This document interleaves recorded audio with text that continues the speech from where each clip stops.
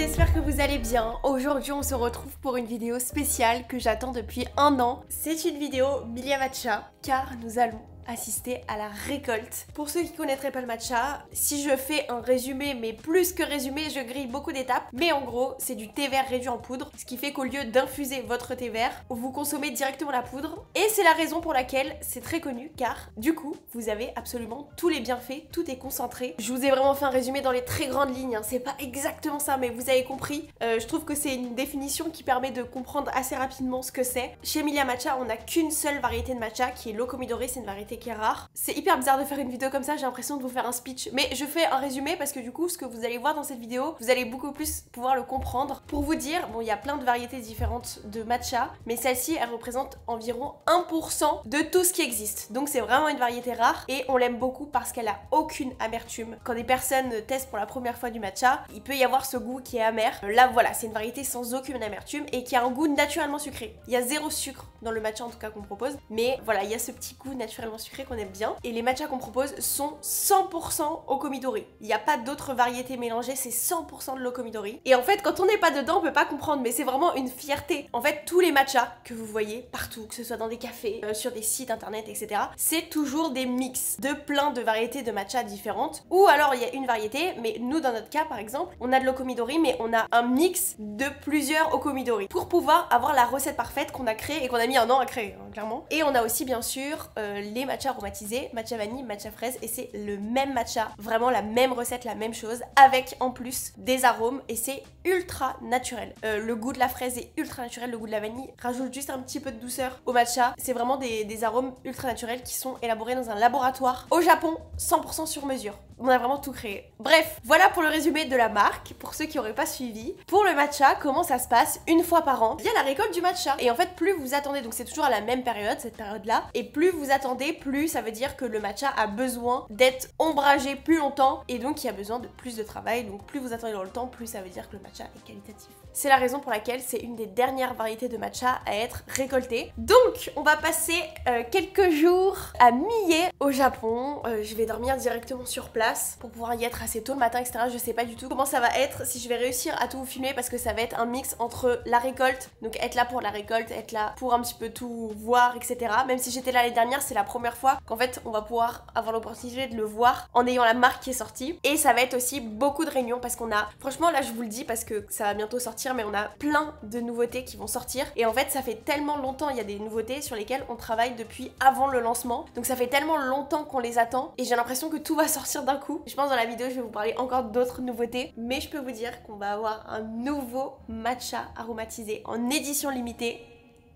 Franchement, c'est le premier arôme qu'on sort depuis le lancement et j'en suis très fière. C'était quelque chose. Vraiment, c'était quelque chose. Je pense que je suis très exigeante sur les arômes. On a fait un nombre de recettes.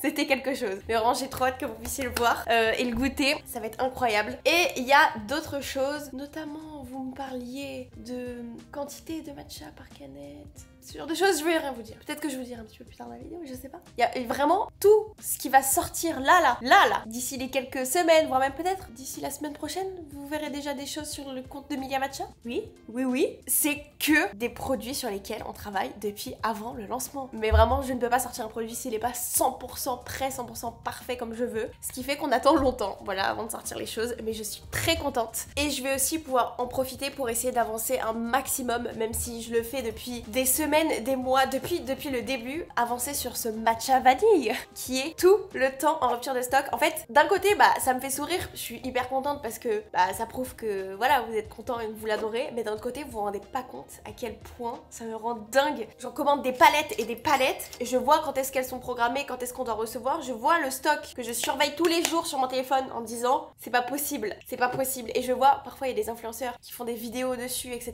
Et je suis en mode ça me rend dingue ces ruptures vanille parce que le matcha ça se consomme tous les jours donc je peux pas être en rupture vous pouvez pas vous retrouver sans matcha c'est pas possible voilà ça me frustre et je vois des livraisons qui sont programmées je les vois genre dans 3 semaines et je vois qu'il reste genre 2000 matcha vanille je suis en mode la rupture de stock Et voilà, là c'est exactement ce qui se passe. Je ne peux pas encore vous dire la date exacte du restock vanille. Je peux vous dire que normalement la semaine prochaine, sur le site de Milia Matcha, vous allez avoir votre matcha vanille. Voilà, comme ça c'est dit. Mais il y a un petit Vous allez pouvoir l'avoir. Vous aurez juste pas vos canettes 30 grammes comme d'habitude. Voilà, je dis ça, je dis rien. Mais vraiment merci pour l'engouement qu'il y a. Et là, on est quasiment en rupture. Je pense que, je sais pas si quand cette vidéo sortira, il y en aura encore. Quasiment en rupture euh, fraise et cérémonie. Les stocks baissent, mais je vais en recevoir normalement. Donc il y en a encore. J'en avais commandé beaucoup, beaucoup. Donc ça, on est bon. Voilà.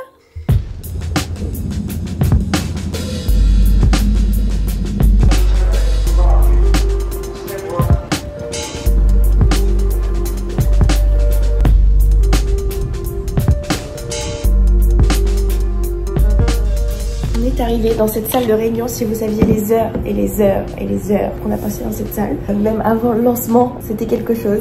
Mais du coup, pour la première fois, on va dormir sur place. Que c'est pas très loin de Nagoya, qui est une grande ville, et en règle générale, on dort à Nagoya. Mais là, il nous a proposé, comme c'était la récolte, de rester dans la maison de sa maman, notre producteur de matcha, parce que bah, tout est ici, et elle aussi, elle travaille ici, on la voit beaucoup, donc euh, ça va être incroyable. Et il vient de me dire qu'il nous a commandé des sushis, on lui a ramené du vin, et genre, il nous a dit après le meeting, parce qu'on a un long meeting où on doit voir des choses Ça me donne envie de plonger dans, un trou et de plus jamais entendre parler tellement ça me stresse, tellement il y a de choses qui arrivent importantes. Et après le meeting, il a dit sushi and wine. Donc on va voir. Je vais essayer de vous partager un maximum de choses, même si je pense que bah, il y a plein de... Enfin, je vais pas vous filmer un rendez-vous de 3 heures. Surtout que c'est pour plein de nouveautés, donc je peux pas vous dire. Mais je vais essayer de vous montrer un maximum de choses. Et demain, il y a la récolte de locomidori. Donc très très important. Voilà. Ils m'ont offert de l'encens et je vais pas tout redéballer, mais tout est rose. C'est trop mignon. Et bien sûr, dès qu'on débarque, vous savez pas à quel point on voit des quantités de matcha. Après, on peut plus dormir pendant 10 jours.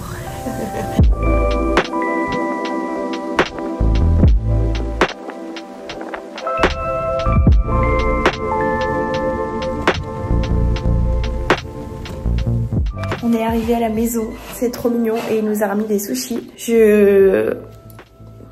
Je l'aime cet homme. On est trop content. Les sushis ont l'air 1 incroyablement incroyable. Unboxing de notre plateau qui a l'air excellentissime.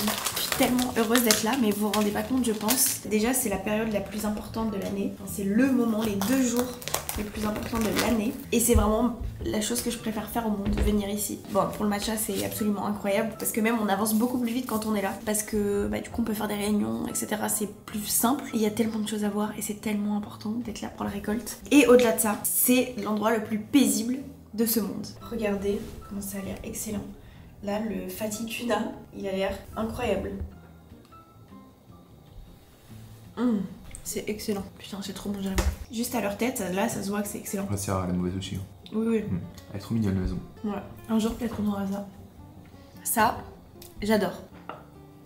T'as entendu le bruit? Ouais, ça commence à me tendre. C'est pour ma mâchoire. En fait, ce qui me tend, c'est que t'as des problèmes et tu les règles pas. Ça me... Attends, c'est une vidéo sur la récolte, on peut pas commencer à faire notre sketch là. Un sketch. Je veux que ce soit une vidéo apaisante. Pour le coup, c'est excellent. Mm. Même une petite vidéo. Vas-y, on met un truc à la con,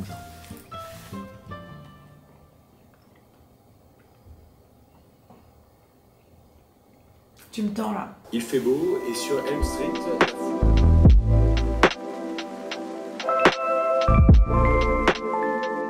Regardez ce coucher de soleil incroyable. On va aller au combini. Avant, je suis en train de m'habituer à mes lunettes de plus en plus. Parce qu'on a un meeting à 19h30. Ça me fait trop bizarre de vlogger ici parce que bah, je vous ai jamais partagé ça. En vrai, je suis super contente. Je vous montre un peu comment ça se passe quand, euh, je suis au Japon pour, euh, le matcha. C'est par où C'est par là? Et du coup, on a... Bon, j'avoue que normalement, c'est jamais aussi tard les meetings. Mais là, comme c'est la récolte, bah, il a vraiment pas le temps.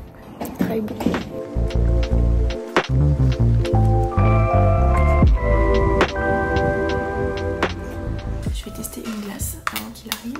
des années que j'ai pas mangé les glaces de cette forme. Chocolat nuts. Hum C'est super bon. J'aurais mis ma glace, elle est trop bonne. Ah ouais Ah ouais. En fait, c'est une coque en chocolat. Et en dessous, c'est genre de la vanille Ouais. Incroyable. 早くでも起きるは大丈夫 OK 大丈夫を選んでく決めてくああ、ださい決める。はい。 Je, je vais tout expliquer, il est tout bon. Hein. C'est bon pour demain matin, c'est lui qui va s'en occuper. Parfait. Parce qu'il y a plusieurs options. Soit on le sort avant de rentrer.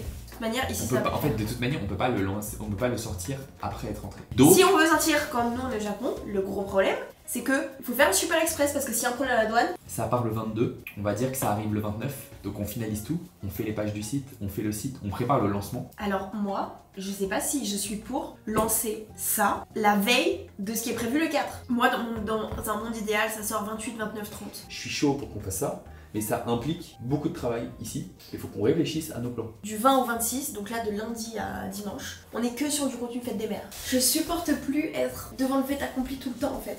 D'être tout le temps en flux tendu comme ça. Est-ce qu'on ferait pas ça c'est pas bon. Est-ce qu'on ferait pas là maintenant un avec Joséphine Tu pour veux voir ce qu'on fait sur la com Si tu veux. On a choisi notre chambre, on avait le choix entre ici mais pour dormir à deux c'est un peu petit. Du coup on va dormir là tous les deux, on va tout déplier. Qu'est-ce qu'il y a? Quand je t'ai dit que c'est petit, tu me dis que c'est pas petit. c'est tout petit, hein. Ah ouais? Mais là, je rentre pas en longueur, moi. Ah putain je crois que moi non plus. Bon, si, en vrai, ça passe. Pile. Ah non, en fait, c'est confortable, on sent pas les trous. Bah oui Ah, mais en fait, ça a l'air confortable. Mais oui Jérémy Je pense qu'on va trop bien dormir. hein. Et on va, on va les mettre à côté, ça va nous faire un lit géant. Putain, plus, on a chacun notre couette. Oh là là. ça Vous savez que là, à Tokyo, on arrive à un point, parce qu'avec Jérémy, on dort pas tous les soirs ensemble, faut le rappeler dans la vie. Genre, on a failli un soir, on n'arrivait pas à s'endormir. Désolée, là, je suis allergique, j'ai tout en même temps. On a failli aller demander une deuxième couette à la réception. Ouais, Parce que qu'on se suit. En fait, Ouais, moi. Parce que toi, c'est trop toi. Non, moi j'avoue, c'est abusé. Mais moi j'ai un problème, je ne peux pas m'endormir si je suis pas complètement enroulée. Genre, il faut que la couette elle fasse tout le dessous de mon corps, mes pieds, ma tête, faut que ça recouvre, genre qu'il y ait que mon nez qui sorte. Vous savez pas, là on est en. Comment dire On a un pic d'énergie, mais c'est parce qu'on a fait un call avec euh, les filles au bureau. En fait, on a reçu une très bonne nouvelle. Mais attends, attends, juste, je te coupe, on peut pas fermer la porte. Bah, on va pas la fermer, hein. On va pas la fermer, je dors pas avec le couloir, hein, excuse-moi. Bah, mais dans l'autre sens. Bah, donc tu dors là, toi? Non, moi j'ai Ah. peur. Toi, t'as peur, toi Moi, en revanche, je peux pas avoir peur. Non, toi, t'as pas peur. On a fait un call avec les filles et on a eu des bonnes nouvelles parce qu'en fait il y a un produit qui doit sortir depuis, depuis avant le lancement sur lequel on a énormément travaillé. La bonne nouvelle c'est que ça va sortir très très très rapidement. Et voilà. En gros c'était une très bonne réunion. Je viens de finir de prendre ma douche. Je vous ai jamais montré une vraie douche. Douche, j'arrive plus à parler. Vraiment, je me réveille dans 6 heures il faut que je sois en forme. Demain, c'est le jour, je sais pas si vous vous rendez compte, c'est le jour le plus important de l'année pour moi. Faut que dormi. Une douche vraiment à la japonaise. Là, en gros, j'ai le lavabo, etc. Et vous avez vraiment une cabine de douche avec la baignoire rose. Je pense que c'est fait exprès. Et la douche. Et ici, vous avez tous les boutons d'aération. Vous pouvez chauffer euh, la cabine, etc. Et c'est incroyable. Et c'est vraiment une... euh, Enfin, c'est une maison qui est quand même assez vieille. C'est vraiment la, base des bases. Mais là, c'est vraiment vrai. On n'est pas dans un hôtel, on est vraiment dans une maison. Euh, ok, ok, ok, ok, je vais me coucher, vous même plus me parler. Ciao, à demain. Demain, 7h30 dans les champs, j'ai hâte. Au lever du soleil, pour le coup, je crois que j'ai jamais vu les champs au lever du soleil.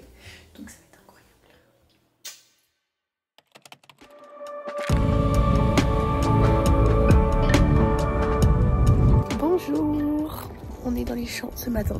Il y a eu un épisode traumatisant. Je sortais de la douche et je suis montée aller récupérer mon jogging en haut dans la chambre. Et au moment de soulever mon jogging qui était par terre, il y avait une araignée. Mais c'était pas une araignée, c'était une migale. Je n'ai jamais vu ça de ma life. Elle était à vomir. Et vraiment, j'ai une grosse phobie des araignées. Et vous savez, les gens qui ont la phobie des araignées, vous comprenez. Si vous en voyez une, vous avez l'impression qu'il y en a partout. Donc j'ai mis genre trois fois plus de temps à préparer à tout faire. J'étais traumatisée. Mais nous sommes là. Ça y est, ils retirent les bâches. La récolte commence. Enfin, la récolte de l'ocomidoré, parce que ça fait des semaines qu'ils font la récolte. Là, ils sont en train de les décrocher par le bas et ils vont tout retirer d'un coup.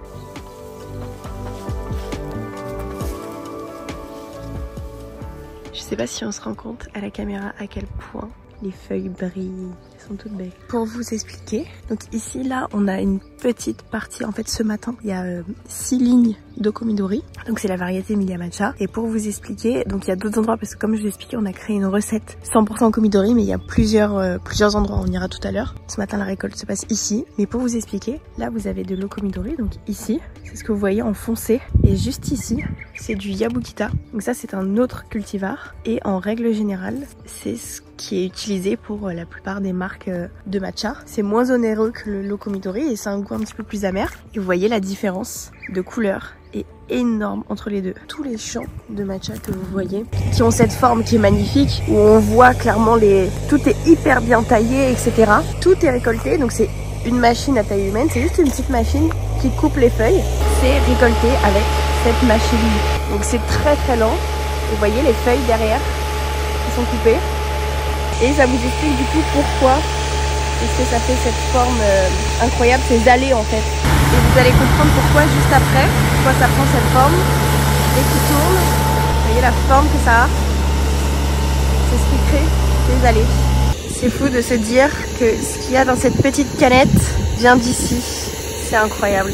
Voilà ce qui a été récolté aujourd'hui. C'est juste des échantillons. Il y a plusieurs cultivars différents.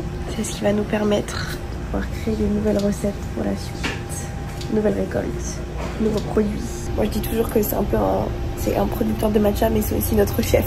Prépare des recettes. Première étape importante, vider la récolte. On est à l'usine, c'est juste à côté, c'est vraiment au même endroit.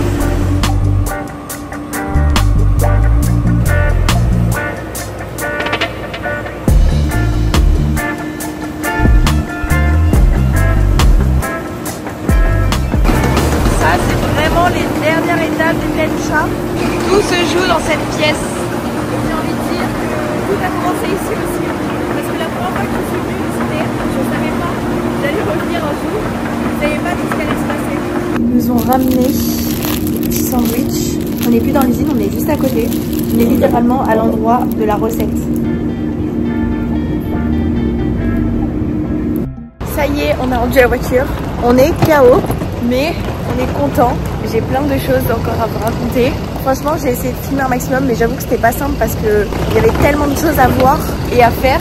Mais je suis contente quand même de vous avoir embarqué avec, euh, avec moi. On est à la gare de Nagoya, on prend notre ticket pour les Shinkansen. Il y a zéro Il place. y a, il y a plus de place Non, dans les trois, il y a marqué euh, few. Ah, il y a plus de place à côté. Nope. Merde Et celui d'après Regarde. Ah oui. Je sais pas si vous connaissez le Shinkansen, mais c'est le train qu'il y a au Japon. La meilleure invention du monde entier. Quand je suis dans le Shinkansen, vraiment, je peux rester 5 heures. Ce n'est jamais assez long.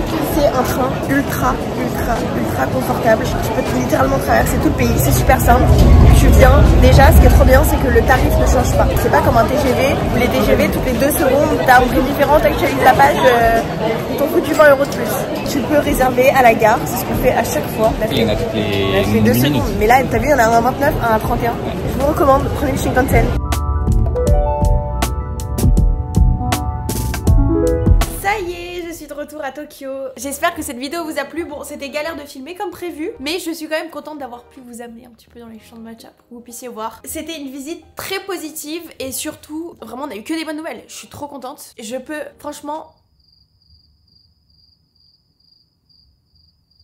je vous dis, je réfléchis en même temps, je vais vous dire ce qui sort la semaine prochaine. Vous savez quoi On va faire un truc. Je vous dis, parce que c'est la fin de la vidéo, donc ça veut dire que vous avez regardé la vidéo jusqu'à la fin, et vous me dites en commentaire si vous avez regardé la vidéo jusqu'à la fin, mais vous dites pas ce que je vais vous dire. Faut pas spoil. La semaine prochaine, normalement, je rajoute toujours un normalement parce que je sais qu'il peut se passer n'importe quoi, mais en tout cas, c'est prévu pour la semaine prochaine. Nous sortons officiellement les canettes de 100 grammes sur Mila Matcha. Je suis trop contente. Si vous saviez depuis le temps que c'était prévu, et en fait, c'était très compliqué de les faire parce que vous savez, on a des canettes qui sont directement imprimées euh, sur le métal et c'est pas, euh, il n'y a pas d'étiquette ou quoi que ce soit. Et en fait, c'est une autre technologie pour pouvoir créer ces canettes là et ça prend beaucoup plus de temps, c'est beaucoup plus compliqué et en fait, on travaille dessus depuis avant le lancement. C'est ça qui est dingue. J'ai tellement hâte, elles sont, mais je vais pas vous spoil non plus tout, je vais pas vous montrer, mais elles sont sublimes. Mais vraiment, elles sont sublimes. Ça va décorer tout mon appart, tous les bureaux, tout. C'est vraiment des grandes canettes. Elles sont magnifiques. Franchement, elles sont magnifiques. J'ai trop hâte que vous puissiez les avoir. Et du coup, ça voudra dire que vous aurez votre matcha vanille la semaine prochaine. Il y aura donc matcha vanille, matcha fraise, matcha cérémonie en 100 grammes qui sortent la semaine prochaine. J'ai trop hâte, j'ai trop hâte, j'ai trop hâte. Bon, je vous ai spoil, mais vous dites rien. N'hésitez pas à suivre Milia Matcha et mon compte aussi Insta parce que on va vous poster plein de choses sur nos 100 grammes. On va tout vous expliquer, tout vous montrer, ça va être incroyable. Vraiment, j'ai trop hâte. Voilà, j'espère que cette vidéo vous a plu. Si jamais c'est le cas, n'hésitez pas à vous abonner à ma chaîne. Je poste deux vidéos par semaine, le mercredi et le dimanche. Même si c'est un peu le bordel depuis que je suis là, parce que entre la connexion, la récolte, les machins, les allers-retours, je galère à poster mes vidéos, mais il y a toujours les deux par semaine, non Ça change pas. Donc voilà, j'espère que cette vidéo vous a plu et on se retrouve dimanche dans une prochaine vidéo.